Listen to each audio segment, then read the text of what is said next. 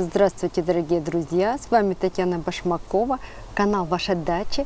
И сегодня я вам хочу напомнить о посеве пряных трав и некоторых других растений уже в преддверии осени. Это можно делать весь август и на юге даже в начале сентября. В отличие от цветов многолетних, которые так называемые посевы с осени, мы еще не опоздали со сроками. Цветы осенние, которые будут зимовать, многолетники, сеются в конце июля, в первой половине августа, чтобы хорошо укоренились. А пряная зелень, разные салаты, которые быстро растут, можно посеять и сейчас. Вот я сейчас вам показываю мой небольшой огородик, на котором я неделю назад посеяла редис. Редис надо сеять не густо осенью, потому что ему надо много солнышка, он должен успеть вызреть. Я старалась вроде не густо, потом оставшиеся семена досыпала, и вот вы можете видеть за неделю, как он сильно, как он хорошо подрос. Здесь же я посела два салата, тоже старалась не густо. Салат вот такой вот зелененький, от элиты просто написан был салатик. Очень хорошо и быстро растет. Если честно, я от салата не ожидала такого роста за неделю. А вот салан Лола Росса маленький, растет медленно. Сейчас здесь очень сухо, я уже пару дней вообще не поливала, стоит неимоверная жара.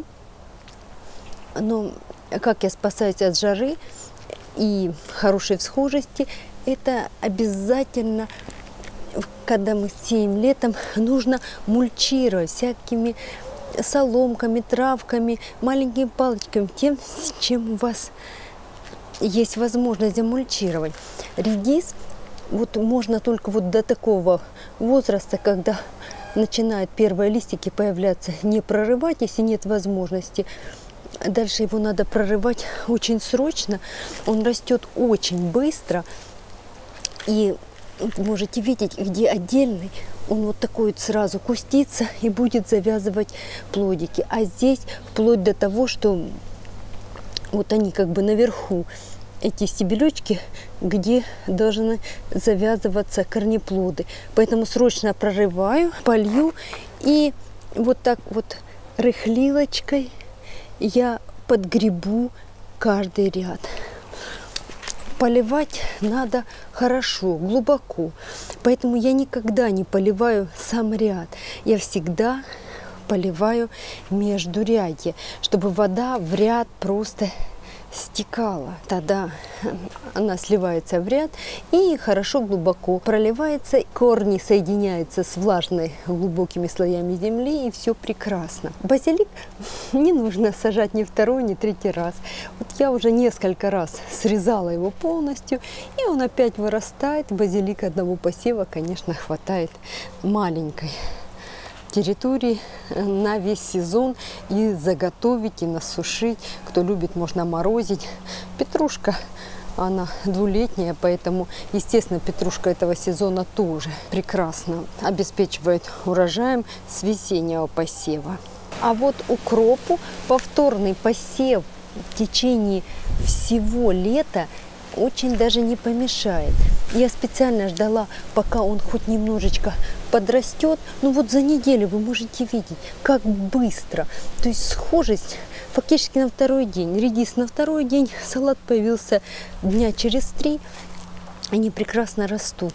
И вот можете видеть, это может не очень опрятно поначалу вы сплошные палочки. Здесь я не убирала ничего, и вот только сейчас начинаю прорывать травку. Вот она лежит травка, которую прорвала. Чтобы хорошо в жаре не переживать, залить один раз перед посевом, посеять и не думать о всхожести, надо обязательно замульчировать всякими разными подручными натуральными палочками.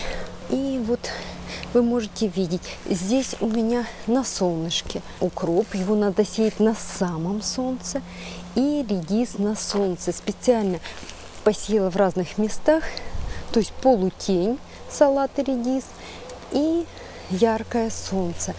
А вот два ряда смешанных посадок. Тут укропа немножко и салат. Я думаю, они не будут мешать друг другу, а так как укроп сейчас быстро пойдет вверх, ему хватит солнышко. Но вот лолу росу еще не видно, в основном трава. Лола роса растет медленно. Кроме укропа, салата, редиса, вы можете посеять еще горчицу салатную. Она тоже очень быстро растет. И не надо переживать, все эти растения очень холодостойкие, выдерживают заморозки и поэтому они успеют вырасти. Но если очень холодно, то редис, конечно, может не вырасти большим клубнем. Все остальные прекрасно по холоду будут развиваться. В любом случае микрозелень вы получите, если большие кусты не успеют вырасти. А это прекрасные натуральные витамины без хлопот. А вот руколу повторно сеять не нужно. Ее надо вовремя подстригать, чтобы отрастали молодые листья. Я, к сожалению, вовремя не подстригала, много оставила на семена, и она у меня такая вот высокая получилась. Но все равно вот эти молодые листики очень хорошие, вкусные, их можно есть, просто очень высокие, прикрывают немножечко мои цветы своей высотой. Такой прекрасный витаминный салат, индао или рукола. Весь сезон свежие витамины.